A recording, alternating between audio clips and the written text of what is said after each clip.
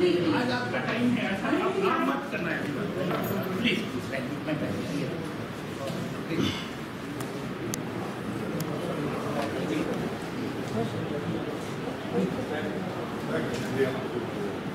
और कितना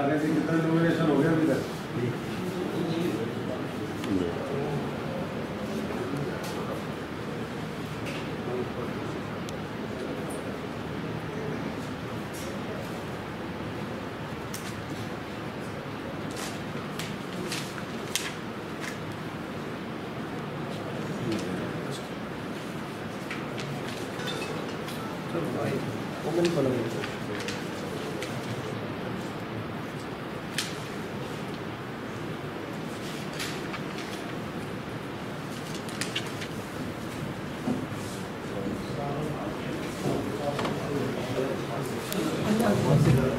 Only five candidate, only five people.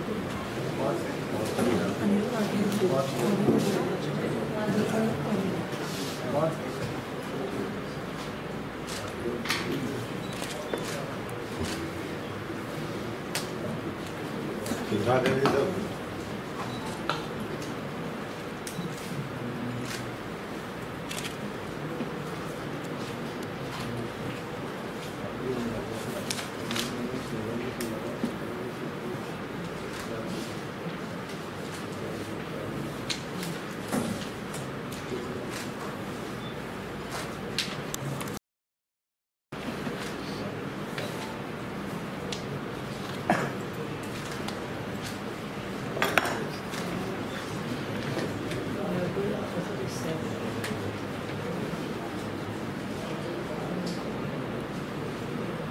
मैं अशोक तंवर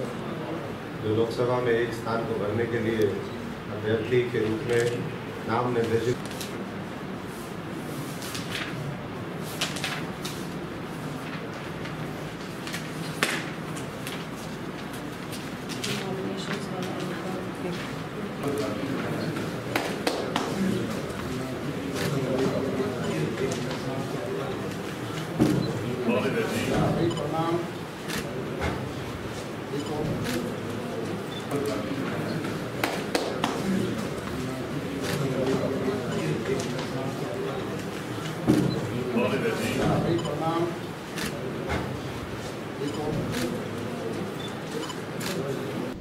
देखिए, मैं समझता हूँ कि हमारे इस इलाके की जनता की भावना,